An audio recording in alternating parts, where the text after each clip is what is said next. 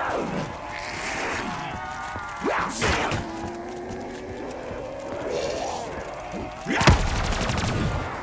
still not enough of you freak sacks to make it fair.